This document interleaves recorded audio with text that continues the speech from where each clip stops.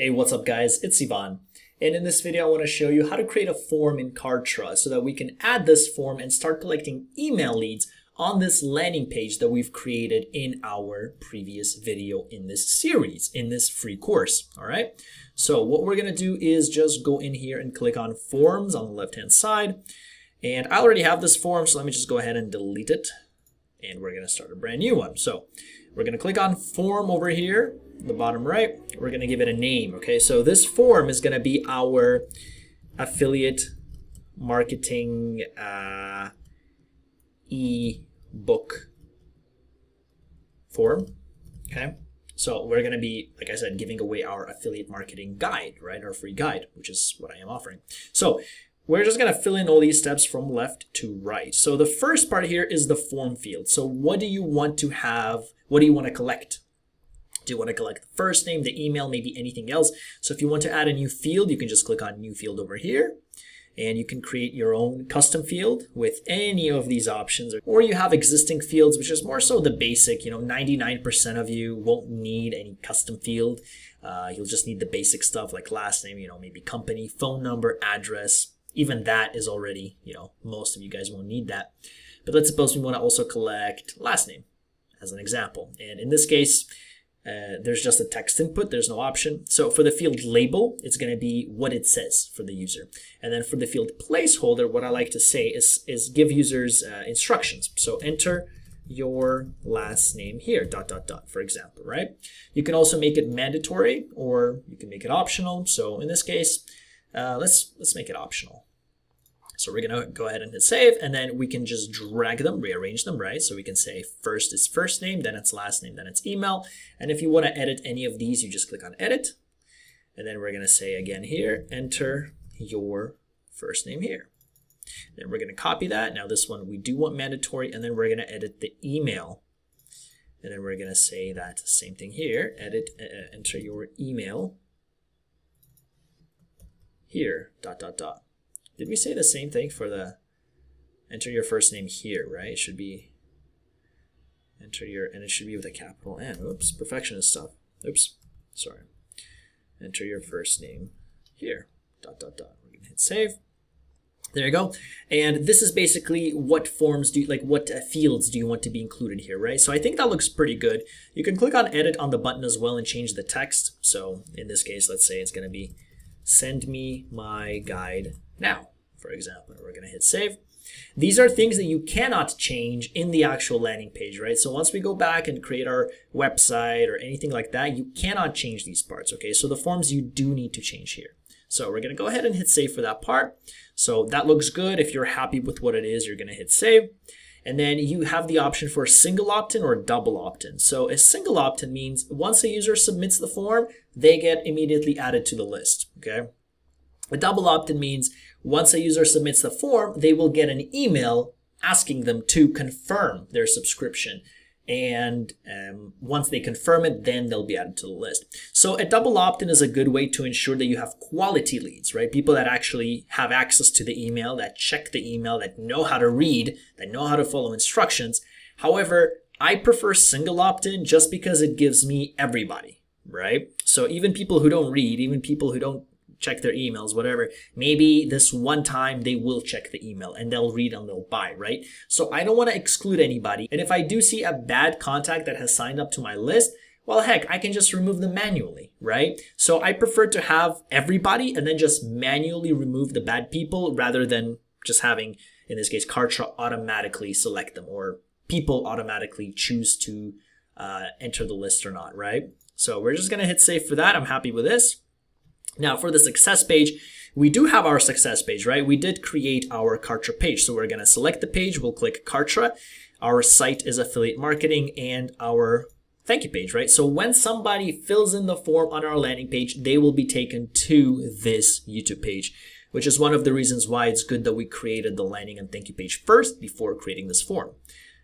So we're going to hit save. We're going to say save and next. And then we could send a welcome message to anybody after they complete registration. So you can click change over here and you can send a welcome email. However, what we're going to do instead is once we get to the communication section, we are going to create an automation sequence. Okay, so when somebody enters a form, we're going to say that they're going to be added to a list and people that get added to the list will get emails sent to them, including the welcome email. Okay, so that's why for here we're gonna say no. Later on in one of the next videos in this series, we're gonna click on communications. All right.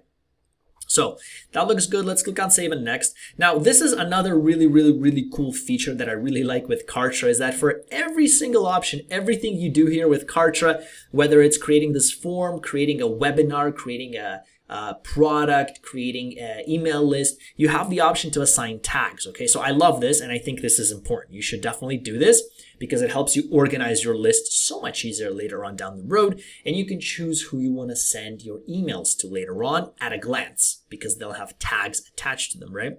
So anybody that fills in this form, I do want to give them, I do want to uh, send them a tag. So uh, let's say no category in particular, and then uh, we don't have any entries, so we're going to create a new tag. And we're going to say for this one, for example, signups, right? Leads. Let's say leads, right? So later on, we'll be able to email these leads, people who um, sign up to the form. So uh, people who signed up to the affiliate marketing guide, for example. And then for the category, so um, we can create a new category here. Again, this financial advisor category is from an old one. So let's suppose this one is affiliate marketing. And then we can change the categories and all that once we get into communications. I'll show you how, but for now, this looks good. And then if you want to keep your list relevant, if you don't want to have somebody that signs up today to the guy like 10 years later, right, they might not be as relevant. So if you want to set a, a deadline here, you could. I'm going to keep it off. I think you'll be able to tell by engagement if somebody doesn't engage very much with your content. You'll be able to tell that they're not relevant and then you can remove them. So we're just going to keep it as is. So I like that tag option. So anybody that fills in this form will be assigned a lead tag. That's what we're doing here. So really, really cool.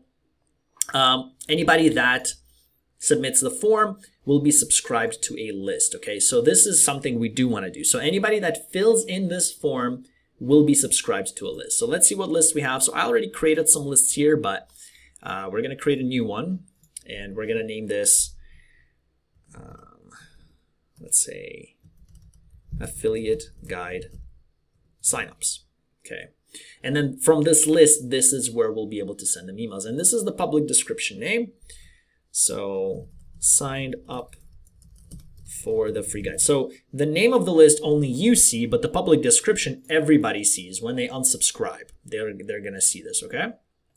So we're going to click on create over here and that looks good. So we're going to hit save.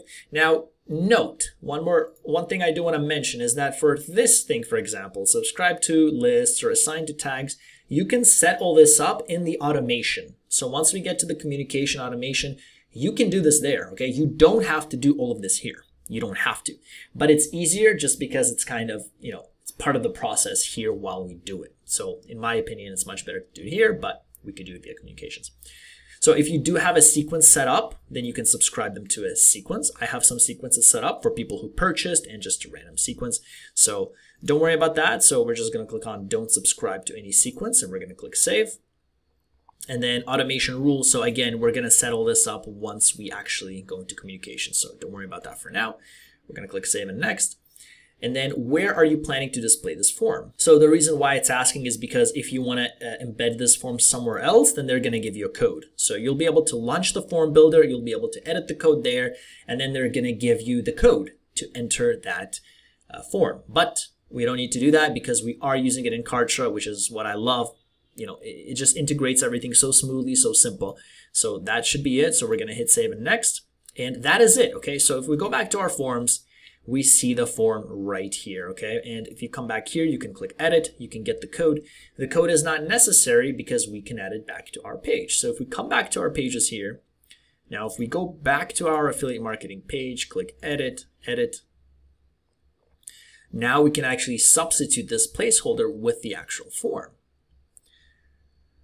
So we can come down here and we can click edit.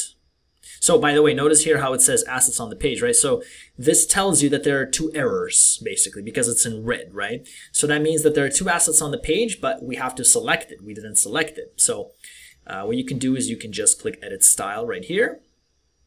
or you can click over there as well, that's fine. And then you can select the opt-in form and you can click apply. And boom, right? Just like that, everything is here. It looks like it's good to go. Uh, but we do want to style it. So if you want to style the button, for example, and we want to make it the same color as this, um, what was that color? Something like that? Nope. Okay. So what we can do is we can just take a look at this. Let's come back in here and see what the color of that is. And we're going to copy it. And then we're going to come back here to edit the form. Let's click edit.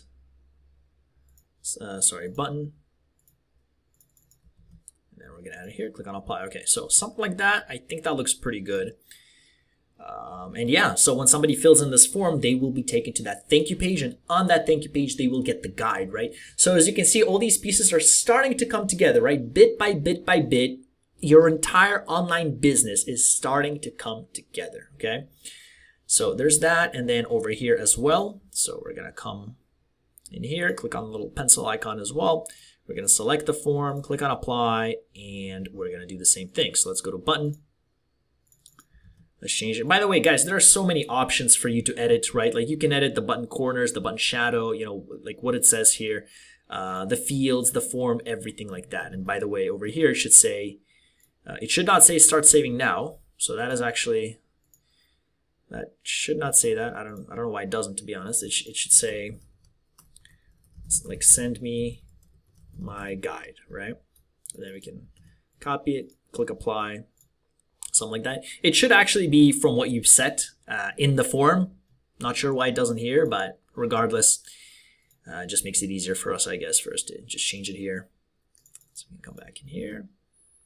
That's send me my guide and boom, right? And there you go, right? So it says edit to configure form, but actually over here you see uh, it's two now, right? So if you click here, you see the two assets and they are ready. So they are working, okay? So let's go ahead and actually test this now. So let's click save process. And let's just, now that we've created the form, let's make sure that everything works, everything is connected. So we do need to publish it live first. We're going to get the page link. So let's see what we've done so far. Next. And that looks pretty good. So let's go ahead and enter our details here. For example, Ivan Mana, ivanmana.com. Let's click on send me my guide and boom, there you go, right? And then we're going to click on download now.